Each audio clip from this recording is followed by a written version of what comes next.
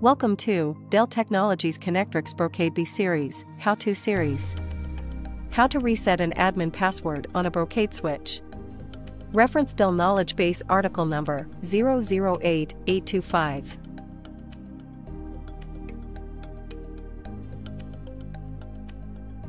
This video was created to demonstrate how to reset an admin password. This video presents the following. Admin password can be reset by using passwd command. This command changes the password for a specified user. In this video, the user is admin. Hence, we use the command passwd admin. When to do this? When the user has forgotten current admin password. When the user wants to reset admin password without entering the current admin password. When an admin account or a security admin account changes the password for other accounts, it does not prompt for the current password unless the target account is a root account.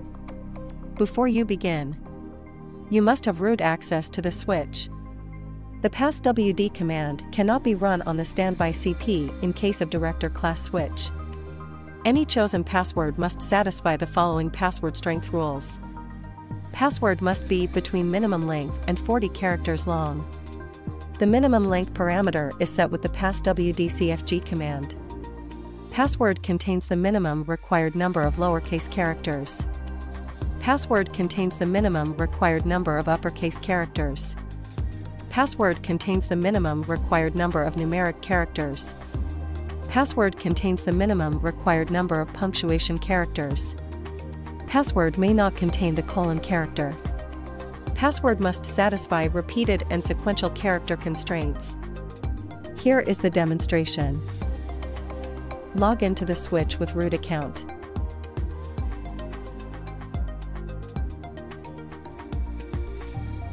Execute the command passwd admin. Enter new password. Retype new password. Your admin password is successfully reset. Refer to the following important notes. Root access removal and maintenance account enhancements. In FOS 9.0.x, the root account is disabled by default, and a new default maintenance account and the role was introduced to enhance the support and troubleshooting functionality. In FOS 9.1.0 access to the root account is removed and the account cannot be activated, references to root may persist in FOS and should be ignored. Refer Brocade Fabric OS 9.1.0 B release notes. Refer to the following for more information. Dell Knowledge Base article number 008825. Doc U83446. Brocade Fabric OS Command Reference Guide. Thank you for watching.